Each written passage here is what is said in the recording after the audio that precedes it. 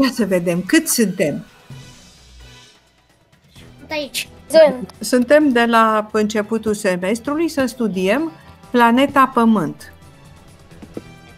Și să știți că pentru voi am o surpriză pentru că l-avem invitat în oră pe eh, domnul Dorin eh, Pronariu, care este cosmonautul eh, român, care este de fapt primul român ce a văzut planeta de sus. Bună dimineața, bună dimineața tuturor! Bună dimineața! Ok, deci haideți să vorbim puțin despre cum se vede Pământul din cosmos, cum îl văd cosmonauții. Uh, voi știți cu toții că de mulți ani de zile în jurul Pământului zboară Stația Cosmică Internațională.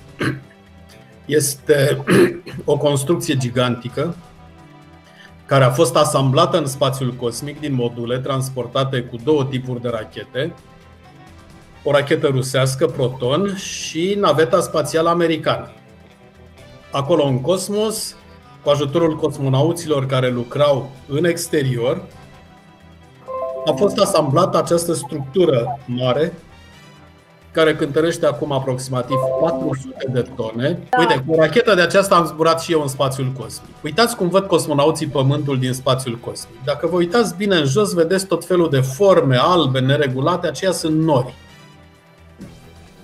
Deci de multe ori vezi atmosfera înnourată și nu deosebești uh, formele de relief sub nori.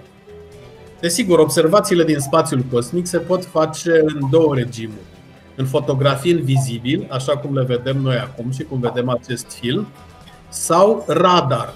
Radarul este o altă formă de înregistrare a imaginilor care penetrează prin nori și înregistrează denivelările exacte ale reliefului terestru. Vă place ce frumos arată Pământul din cosmos? Da. Da. Da. Da. Da. să ajute și voi acolo, să-l vedeți de sus.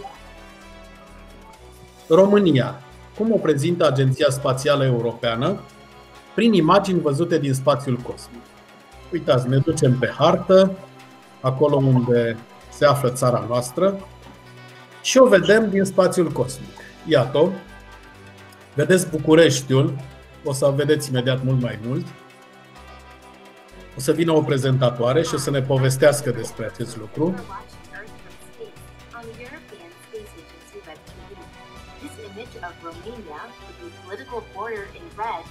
În roșu sunt uh, granițele politice ale României.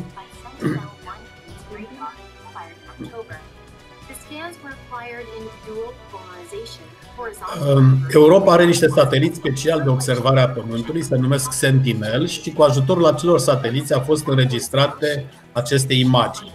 Iată cum se vede Pământul de pe Lună. Deci, dintr-o dată, avem o cu totul altă perspectivă asupra lui. Luna se află la 380.000 de kilometri de Pământ, deci de la acea distanță, Pământul, cu diametrul lui de aproximativ 13.000 de kilometri, ca să fie mai simplu, se vede sub această formă. Alte întrebări? Uh, pe faza spațială, acolo oamenii au aer infinit sau sunt niște compresoare care le dau aer în navă? Deci, pe stația spațială, ea este lansată în cosmos, închisă hermetic, cu aerul care există în ea iar acel aer este regenerat în permanență la bordul ei cu ajutorul unor reacții chimice. Dacă avem gravitație zero, cum, Doamne, mergem la toaletă? Uh, bineînțeles că trebuie să mergem și la toaletă. Ei bine, sunt construite toalete speciale pentru a putea fi folosite în spațiul cosmic. În principal sunt cu aspirație, cu un jet de aer care trage ceea ce faci și depune niște săpulețe care se închide hermetic și se aruncă la gunoi. Dumneavoastră ați fost doar o dată în spațiu? Da, din păcate n-am fost decât o singură dată. România n-a mai avut altă șansă până acum să trimite cosmonaut. Cât, cât timp ați zburat? Uh, 8 zile fără 4 ore. 7 zile, 20 de ore, 42 de minute. Dați o notă, domnul cosmonaut. Eu zic, la revedere! 100 la revedere, la revedere! La revedere! La revedere! La revedere! La revedere!